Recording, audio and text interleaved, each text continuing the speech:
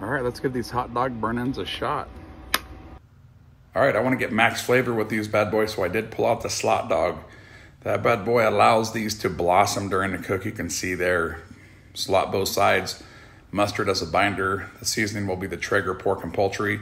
Gonna smoke these at 250 for an hour and a half. I am gonna spritz these, so I pulled out the pineapple mamitas. Hell yeah. Get them spritz. So after that hour and a half, you'll be able to see that these blossomed up. And after that, you wanna start quartering these. So we wanna quarter these, get them back in a pan. This is where the Traeger apricot sauce comes in, some brown sugar. Gonna use some more of that pork and poultry and a little mamitas with some pads of butter. Put this back on to braise for about an hour covered in foil and this is the end result. Then after that, put it back on for 30 minutes for that sauce to tack up. And these were freaking killer. If you've ever had a saucy, little smoky, this was basically a play on that, but way more girth.